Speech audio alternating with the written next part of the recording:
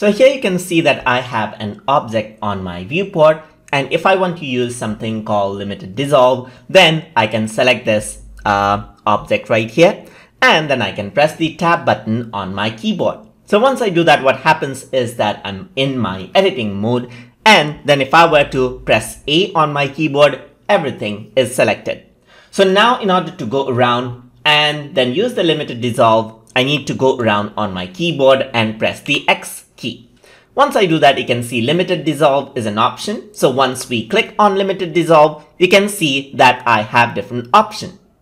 So uh, the limit over here is in normal. That is what we're going to work with. So right now you can see that the degree is set to 5 degrees, which is not making any change. But if I were to click and drag this, you can see that I, I can increase the amount of smoothness. So what happens is that I can increase the amount of smoothness and the polygon count in the model decreases as I increase the value. So you can go around and click this button as well, or you can go ahead and type in the value um, on which you want to set. So once you increase, you can see that it gets smoother over time. So you can decrease it to be not smooth at all or increase this, you can see that it becomes smoother right here.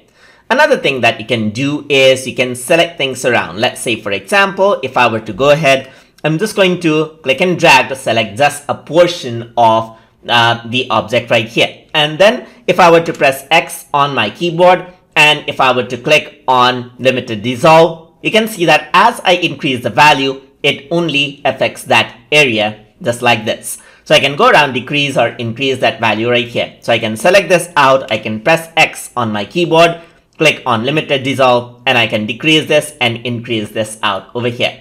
So depending on which part you want smooth and which part you want detailed, you can work around with that over here inside of Blender.